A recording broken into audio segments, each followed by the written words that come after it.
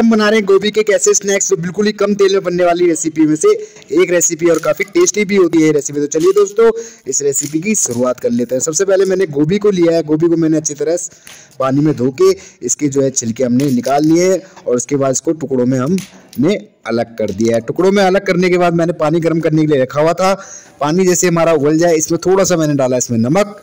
नमक डालने के बाद अपनी गोभी जो है हम इसमें शिफ्ट कर देंगे और गोभी को हमें कम से कम 12 से 13 मिनट तक अच्छी तरह जो है उबालना है, तब तक जब तक ये सॉफ्ट ना हो जाए। इसके बाद हम इसे छन्नी के सारे निकाल लेंगे। फिर करेंगे हम एक दूसरी कार्रवाई। इसके लिए लेंगे हम एक बॉल। बॉल में एक चम्मच अदरक लहसन का पेस्ट।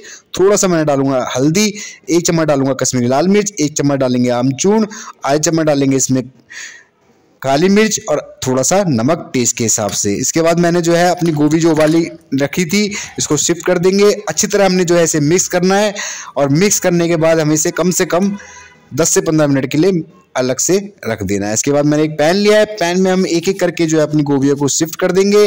गोभी को शिफ्ट करने के बाद एक चम्मच ही हम इसमें डालेंगे सरसों का तेल। इसको जो है हमने अच्छी तरह जो है फ्राई करना है और तब तक पकाना है जब तक ये अच्छी तरह जो है पकना जाए। अलट पलट हम इसे करते रहेंगे और अच्छी तरह पकने के बाद हम जो है इसे गर्मा गर्म जो है निकाल लेंगे और सर्व करेंगे बिल्कुल तीखी वाली हरी चटनी के साथ। तो वीडियो पसंद आया लाइक शेयर चैनल में नए हो तो चैनल को सब्सक्राइब ज़रूर करिएगा दोस्तों।